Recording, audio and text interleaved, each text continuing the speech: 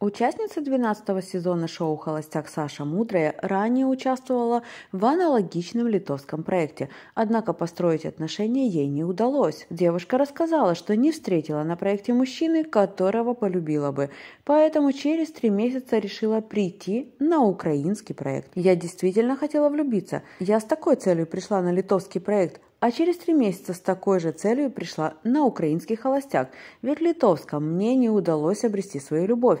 Я решила не отчаиваться и попытаться сделать это в Украине, сказала мудрая. Позже на своей странице в Инстаграм она рассказала, что литовская версия проекта немного отличается от украинской. Если в нашем холостяке выбирает мужчина, то там женщина. Было восемь украинок и сколько-то там литовцев.